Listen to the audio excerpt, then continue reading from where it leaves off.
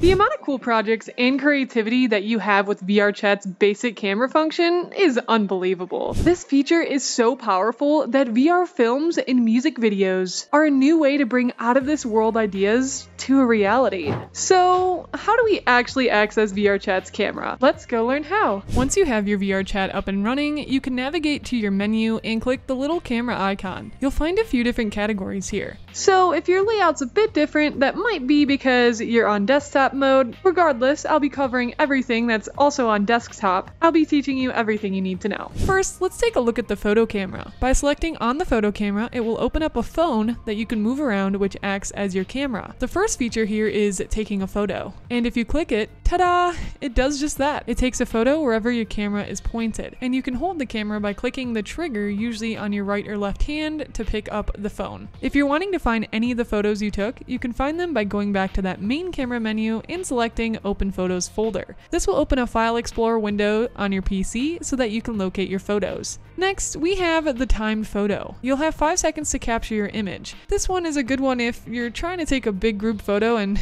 need to get into frame yourself. So make sure to get all your friends in the frame before that timer goes off. Hopefully you only have to do it once or twice, not 300 times. We've all had that one friend who just can't get their pose right the first time around. The next one you'll see is camera mode. This one allows you to switch between multiple camera modes without having to go back to that main menu we went to earlier. We'll talk more in depth about the other camera modes a little later. Let's take a look at the flying feature. This one's a bit tricky to get the hang of. If you've ever flown a drone, maybe it's something like that. I've actually never flown a drone, so I have no idea if it's anything like that. Turning on flying mode allows you to pilot the camera around. This can lead to some pretty cool shots, but definitely works better if you have people with you dedicated to using the camera. It can be tricky to act in a film and control this at the same time, Trust me, I've tried. Moving forward, we have the anchor feature. This is probably one of the more confusing features, but once you get the hang of it, it's super useful. There are three modes in the anchor view. The first mode is default, which puts your camera back into your hands and allows the frame to be viewed directly where the phone is looking. Side note, to flip your camera towards you, select this little flip button with the arrows here and select it again to flip it back. If you ever lose your camera in the abyss, default mode is typically something that will bring it back to you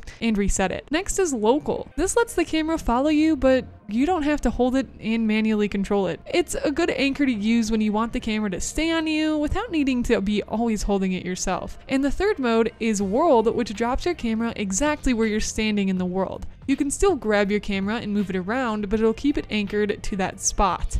Let's talk about behavior. Speaking of behavior, if you're still watching this video, I think that means you should give it a thumbs up because based on your behavior, you must like it. Behavior has four options in VR. Smooth, Look at Me, Auto Level, and Trigger Takes Photos. Smooth creates a smoother camera experience. This is a great feature and removes any shakiness you might have while holding the camera. Yeah, my hand's pretty much always shaking when I'm holding the camera, so this one's a lifesaver for me.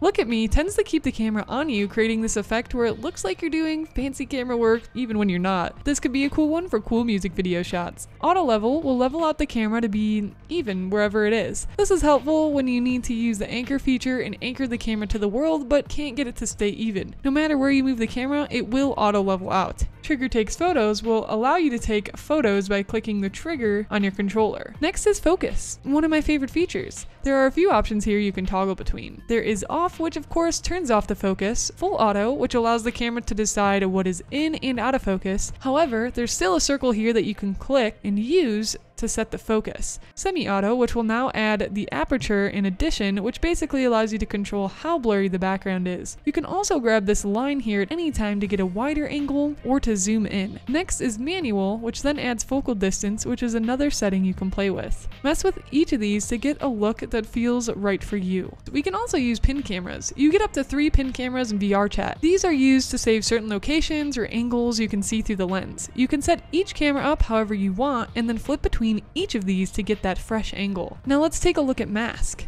Mask has many different options local user, remote user, environment, green screen, and UI. Local user allows you to block the camera's view of yourself so that you're no longer in frame. Remote user blocks other users around you and lets you be seen. Environment allows you to turn off your environment and create a transparent background. Green screen is a great one to use if you want to maintain that world lighting, but have your avatar be on a separate green screen that you can cut in post editing at a later time. And UI will turn off UI from being seen on camera. UI are pieces like other players' usernames. Lens visibility. There will be a time when you need to see your camera and other times when you need to get it out of the shot. You can completely turn off seeing your camera, turn it to ghost mode which makes it transparent, ooh, or makes it solid if more visibility is needed. Filters are a fun way to have extra effects.